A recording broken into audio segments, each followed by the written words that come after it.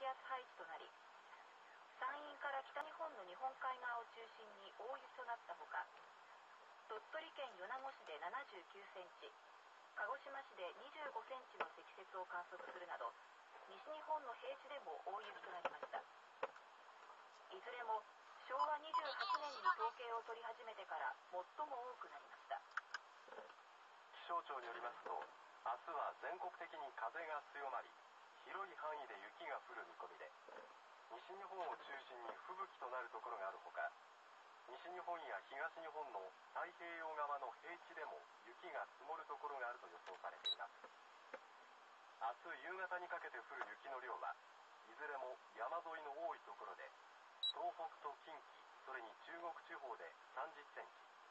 北陸で20センチ関東甲信や東海四国それに九州北部で15センチから10センチなどと予想されています。北陸や沖縄地方の海上などでは明日は風が非常に強く吹き最大風速は20メートル最大瞬間風速は30メートルに達すると予想され沖縄地方では波の高さが6メートルの大しけが予想されています。明日の夜から明後日にかけては西日本の上空1500メートル付近に氷点下12度以下のこの冬一番の寒気が流れ込むため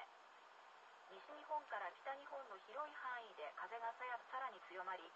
日本海側を中心に雪が降り続いて猛吹雪となる恐れがあります。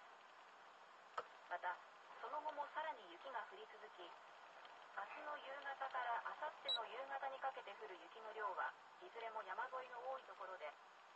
北陸で80センチから60センチ東北や近畿で60センチから40センチ中国地方で40センチから20センチ